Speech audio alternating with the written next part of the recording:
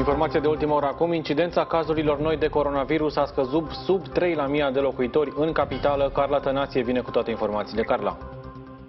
Astăzi rata de incidență în capitală este 2,9 la 1000 de locuitori, după ce ieri a fost puțin peste 3.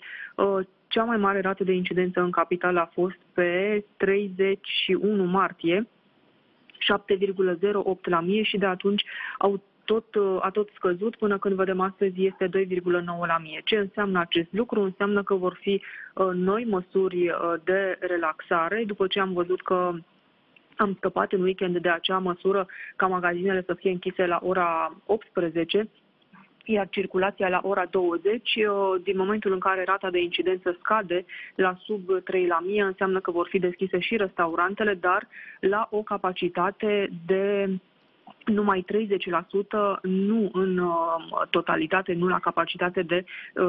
Uh, Această scădere a ratei de incidență cu siguranță se datorează și faptului că oamenii au respectat măsurile de protecție, dar și pentru că numărul persoanelor vaccinate este în creștere.